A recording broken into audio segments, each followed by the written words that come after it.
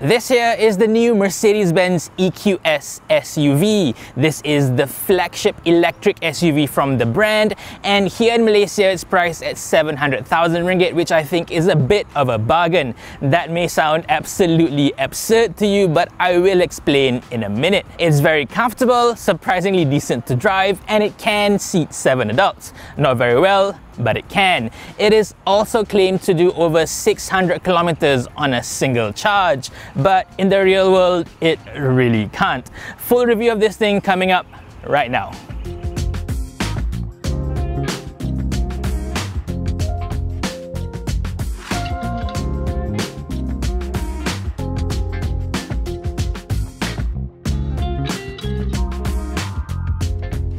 Let's start with the prices. First, at 700,000 ringgit here in Malaysia, this is far from cheap or affordable. But at the same time, you really shouldn't expect it to be because this is a flagship SUV.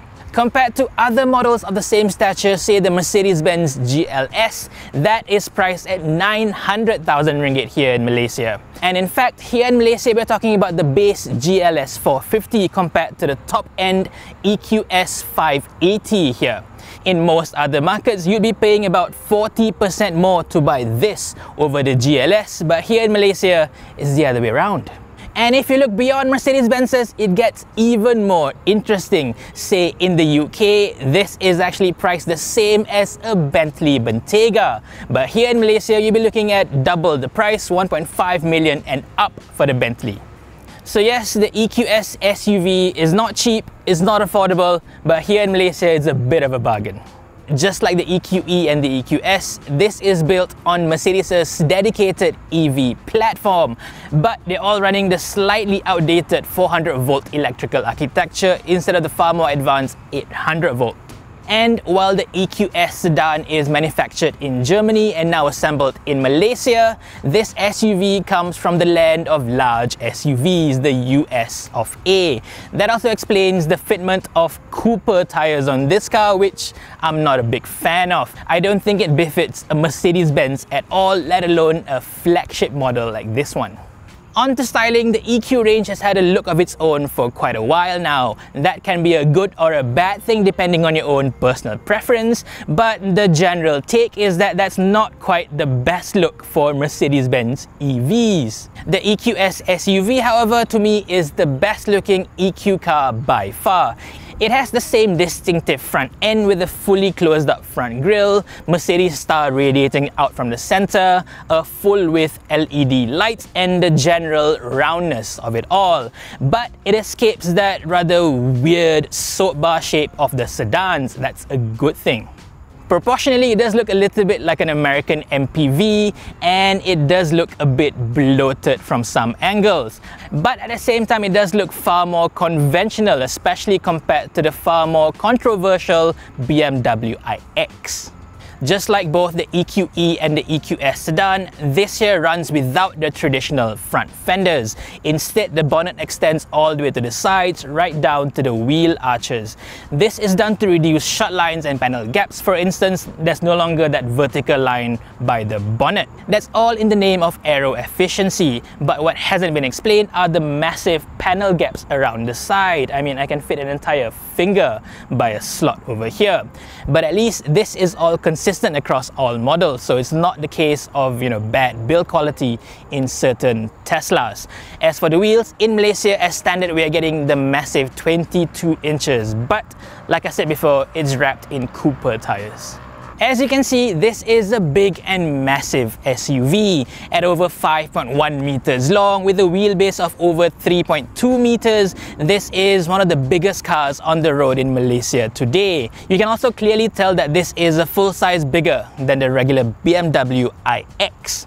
On the side, it has the usual Mercedes-Benz bits. The illuminated pop-out door handles still look far better than they are to actually use. And the side step actually go a step further. They are both bad to look at and not very comfortable to use. They are still far too narrow to be used comfortably and I just don't get why Mercedes-Benz of all brands can't fit those fancy deployable side steps like a lot of other people would. At the back, the EQS SUV has a very simple, clean, almost generic shape to it. I do like the helical light graphics back here, but beyond that, there's really not much else going for it. Thankfully, the interior is far more interesting. Inside, if you've been in an EQS sedan, this will feel very, very familiar to you. It's practically the exact same dashboard in this SUV. And just like the sedan, while the exterior gets the full AMG line package, the interior is dressed up in the electric art package. This includes the standard steering wheel instead of the sportier AMG line steering, as well as all these fancy rose gold elements. But the main feature of course is this full width hyper screen. It includes three separate displays, one for the driver for the digital display, a big screen in the middle that houses all your main interface, and of course wireless Apple CarPlay and Android Auto, which looks fantastic by the way, full screen, that just looks great. And a secondary screen on the far left for the front passenger. That however is more for show than anything else. It doesn't really do much but yeah as a whole it does look pretty impressive.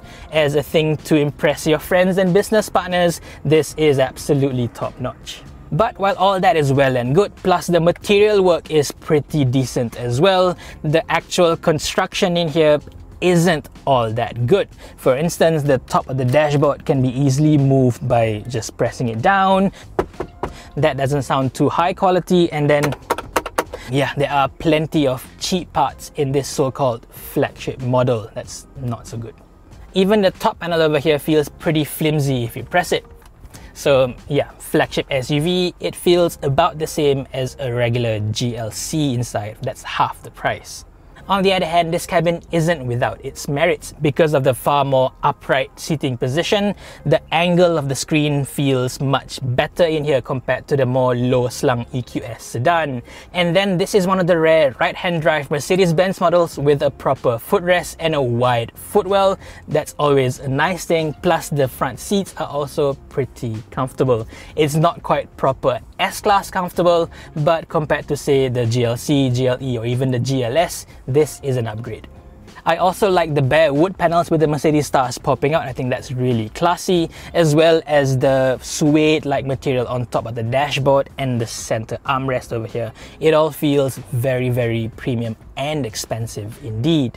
But at the same time, I'm still not a big fan of all the touch controls in the center over here, especially on the steering wheel as well as the seat memory controls. I think the older buttons work much better.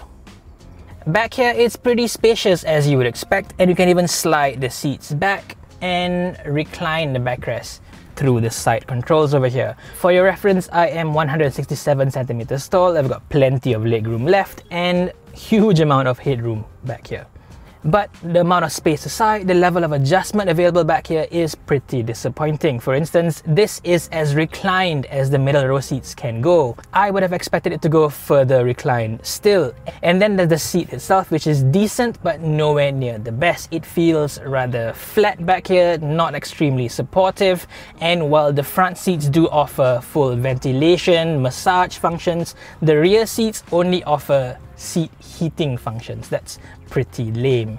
On the bright side, this being a big and tall SUV, you don't get the usual high floor issue like in most other EVs. The floor is relatively low and it's flat as well, so you can just as easily fit three adults in the back here with no issues at all.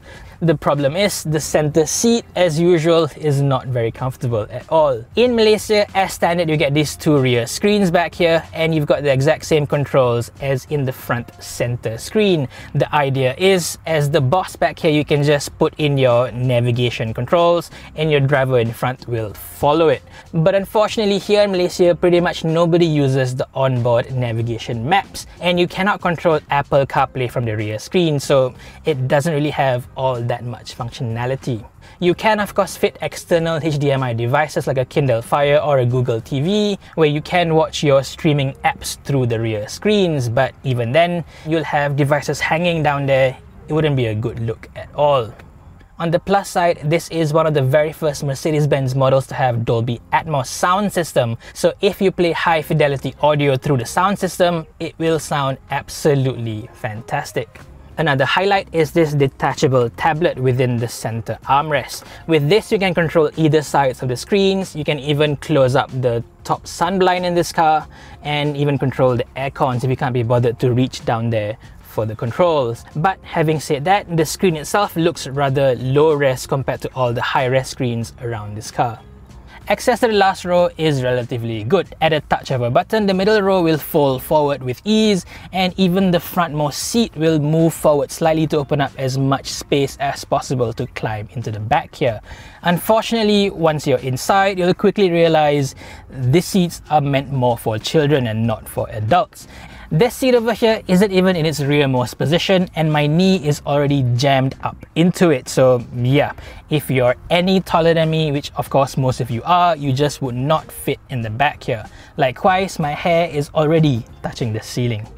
And then there is the build quality back here. This cheap piece of trim would not fit a Honda, let alone a flagship Mercedes. On a positive note, you do get your own dedicated aircon vents back here, as well as four USB-C chargers. I don't know why you would need four chargers for two passengers, but yeah, you've got them.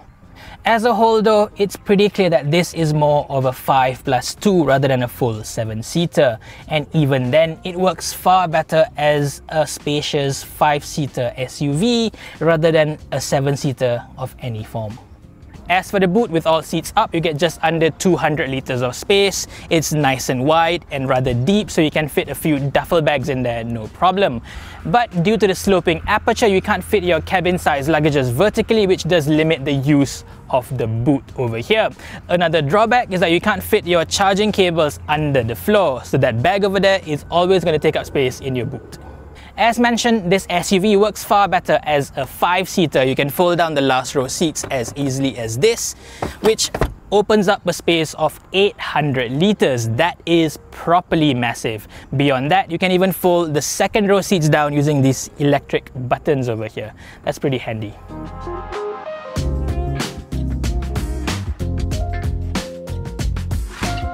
Alright, finally on the move with the Mercedes-Benz EQS 580 SUV. As mentioned, this is the top of the line 580 version, which means it's the quickest of them all.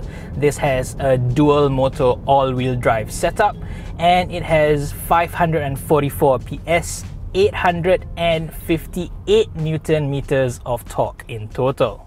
So despite this being a big massive heavy SUV, it takes off like an absolute rocket. It can go from 0 to 100 in just 4.6 seconds.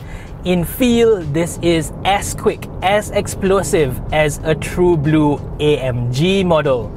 But it does that without any drama. It just shoots forward without any sound at all. You can think of the absolute best W12, V12 Rolls Royces, Bentleys, or even the Toyota Centuries. This is better, more refined than all of them. That to me is the absolute beauty, the best part of a flagship electric vehicle. The level of refinement offered here is just unparalleled, way better than pretty much anything that has come before. This EQS SUV, of course, has full double glazing all around, so you just don't hear anything. There is no engine note to speak of, and there is very little wind noise coming in at all not even when you're cruising along at 140, 150. You do get a tiny bit of tire roar coming and that perhaps has something to do with the rather budget tires. I can only imagine how quiet this car would feel with quality premium rubber all around. But back to the performance, it is electric. Just look at that. This to me feels even more powerful than the BMW iX50, let alone all other inferior electric vehicles. The fact that it is this fast and this refined is just mind boggling. With the EQS, both the sedan and even this SUV, Mercedes Benz has come to the absolute top of the pinnacle of luxury automobiles. This is the most refined car there ever was. But of course, everything comes with a price. To make this car so quick and so refined, they've had to add on, you know, probably 100 kilos of extra sound deadening and far more powerful electric motors, so the efficiency suffers along with it. This is easily the biggest, heaviest electric vehicle I've tested on Malaysian roads. So obviously it has the highest power consumption I've recorded yet but at 21 kilowatt hours per 100 kilometers that is also way higher than I expected. Against this car's maximum battery capacity of 107.8 kilowatt hours I can work out a maximum range of around 515 kilometers. That's not too bad. That's pretty decent considering the size and the level of performance of course. But compared against Mercedes's own claim of over 600 kilometers of range yeah, it doesn't add up. I mean, had Mercedes-Benz claimed 500 kilometers for this car, it would still be mighty impressive. But it claims 600, it only does 500, so yeah, there is that big gap in terms of customer expectations that are not going to be met ultimately.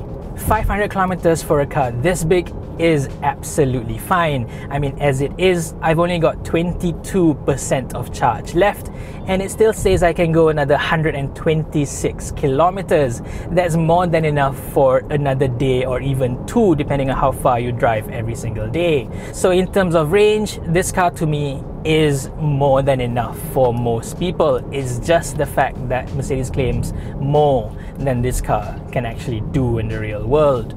As for charging, this EQS SUV is actually above average. It has a 22 kilowatt AC onboard charger, which means it can top up its massive battery from 0 to 100% in just about 5 hours. This is an optional extra in most other countries, but we are getting it as standard here in Malaysia. That's a very good thing. As for DC fast charging, this has a maximum rate of 200 kilowatts, so we can go from 10 to 80% SOC in as little as 31 minutes. That's pretty standard for most EVs these days, but it's still not as impressive as EVs with 800 volt electrical architecture. This, like I said, still runs on the slightly older 400 volt architecture. Now onto the one thing that I think is the best feature of the EQS SUV, its ultimate ride quality. This is one of the best riding electric SUVs, electric vehicles I've tested yet, which is to be expected really. This is the most expensive, this is the biggest, this is the most luxurious EV out there. But still though, the combination of comfortable ride and dynamic handling is something that we have yet to see in an electric vehicle. I mean, if you've only driven a BYD Atto 3, you may think all electric SUVs have floppy steering. If you've only driven, say, a Volvo C40 or a BMW iX, you may think all electric SUVs have a busy and harsh ride. This, however, manages to feel supremely comfortable and surprisingly agile at the corners as well. That goes to show how much proper tuning and technology can refine a car to the next level. To me, this rides even better than the EQS sedan. You just sit so much higher, you have a much more comfortable seating position overall, you're not so much sitting on the floor like in the low slung sedan. This to me just has a much, much better seating riding position overall. There is that level of floatiness, that level of looseness that you've come to expect with air suspension cars, but here it feels very, very controlled, even in comfort mode the way the EQS SUV smoothens out all the undulations on the highways is just absolutely amazing. Even in the back, you hardly feel any bumps at all. Even at low speeds, through those, you know, annoying rubber speed bumps, you sort of feel that the front is a little bit stiff, a little bit oversprung, but the rear suspension is absolutely beautiful. It glides through everything. Sitting in the back, this is easily one of the most comfortable electric vehicles out there. And then we come to the handling. The steering is really quick, very direct, and together with the rear wheel steering, it actually dances around corners. Nothing that you would expect from a car this big and this tall. In terms of eating up corners, I would say that this is on par with the BMW iX, which in itself was already impressive in the handling department, I think. This being as comfortable as it is, being as, you know, soft and pillowy on the highways, through the corners, it can hold its own. That's just unbelievable. That's really, really good engineering, I think. Ultimately, this isn't a car that you are going to take corners really quickly in because you do end up getting a lot of body roll. But if you must, it can take it. Trust me, it can. The four-wheel steering system is also another highlight of the EQS SUV. It makes maneuvering this car through tight city streets, tight parking lots a complete breeze. You don't feel that this is any bigger than say a Mercedes GLC even though clearly physically this is much wider, much much longer but fitting this big SUV into tight parking lots, yeah, really really easy. This is a feature that I hope moving forward gets fitted into more and more Mercedes-Benz models here in Malaysia. It is a game changer. I've already touched on refinement earlier, so let's move on to the active safety systems on this car. As you would expect, this has pretty much everything a car like this can offer. It gets level 2 semi-autonomous driving, it has active lane keep assist, adaptive cruise control and so on.